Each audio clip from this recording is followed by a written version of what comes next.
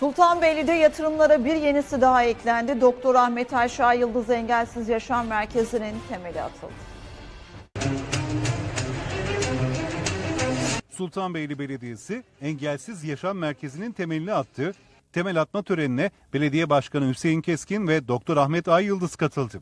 Doktor Ahmet Ayşe Ay Yıldız Engelsiz Yaşam Merkezimizin temel atmasını biraz önce gerçekleştirdik.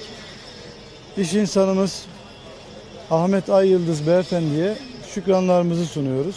İnşallah kısa süre içerisinde burayı tamamlayıp da e, engelsiz e, yaşam merkezimizde kıymetli kardeşlerimize hizmet vermenin derdindeyiz. Merkez, hayırsever iş insanı Doktor Ahmet Ay Yıldız'ın bağışlarıyla hayata geçecek. eşimle hayal ettiğimiz ama sağlığında gerçekleştiremediğimiz projemizi onun vefatından sonra gerçekleştirme fırsatı buluyorum. Bu imkanı bana veren Allah'a öncelikle şükrediyorum. Engelsiz Parkı'nın yer alacağı merkezde 1426 metrekare kapalı alan ve hobi bahçesi gibi imkanlar da sunulacak.